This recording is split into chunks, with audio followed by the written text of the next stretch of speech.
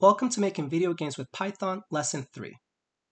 In this video, we're going to introduce a new concept called the game loop, which will allow us to play the game as long as the game is not over.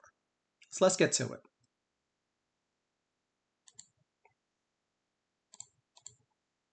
All right, so we're going to go into our folder and we're going to open our code from the previous video. And just to run it, just to see what we get. So with this one line, where we created a variable game, which was a game object of a particular width, height, and a title, we were able to get this window. Now, I'm not sure if you've tried this. If you try to close out this window, you notice it doesn't close because uh, right now our game is not able to interact uh, with us. And that's what we're going to handle with the game loop. The only way you can close the window now is to go to the shell and literally close out the shell that's running the window.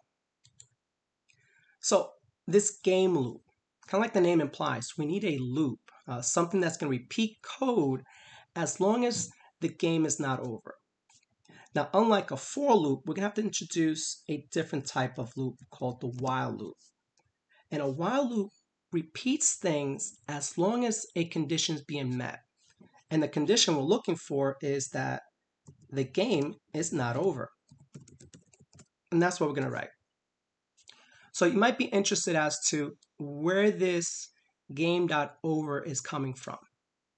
So if we go to our game library, again, we've created a, a variable. Is that a little bit? A variable game that is a game object which means anything that's part of this class is available to us. And if you look inside the init function, which allowed us to create the game object, you'll see that there's a variable called over.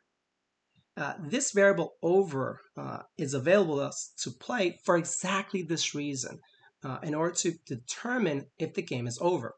And you can see here that it's being set to false, which kind of makes sense. When the game first starts, the game isn't over. we want to actually play it. The other thing you'll notice is that the word self is here. Yet over here, we use the word game.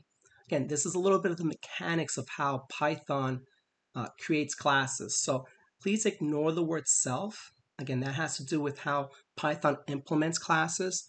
Uh, but realize that what comes next, these variables, uh, you know, debug, uh, collision border, font, left, top, these are all available to you uh, once you've created a variable that is a game object.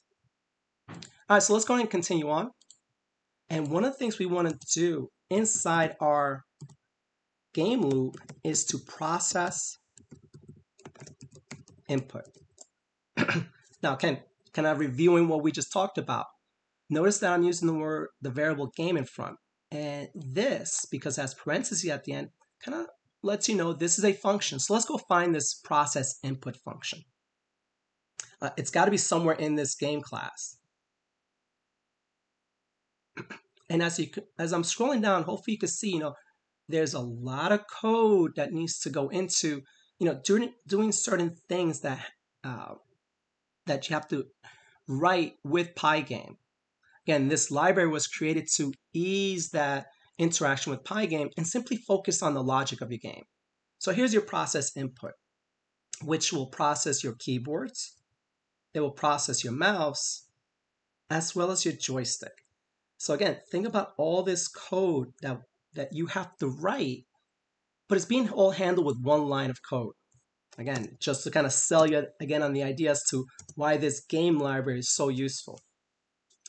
The next thing we want to do after we've processed our input is to update our game. So let's go find this game update function. Oh, it's right here. And what you'll notice that when you call update, it has a parameter of FPS, which currently is gets set to 1. Uh, you can change this to, let's say, 30, and what this will do is that this will update your game 30 times in one second. And this essentially is your game loop, but there's one more function I want to call, which is game dot quit. And let's go ahead and find that one.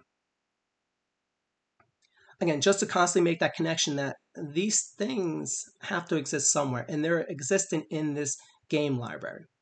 So game.quit simply calls pygame.quit. Uh, but again, it's a nice way to kind of hide uh, all the pygame code within other functions. All right, so let's give this a try.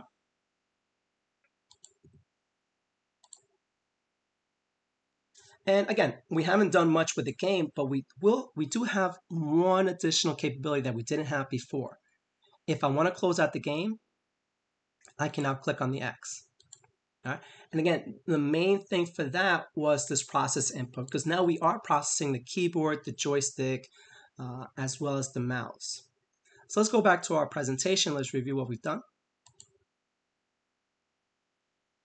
So in this video, uh, we introduced the game loop, which was a while loop that kept repeating as long as the game wasn't over. Inside the while loop, we did two commands. Uh, we processed the input, which processes our keyboard, our mouse, and our joystick, and we also updated the game uh, with a particular frames per second, which shows 30.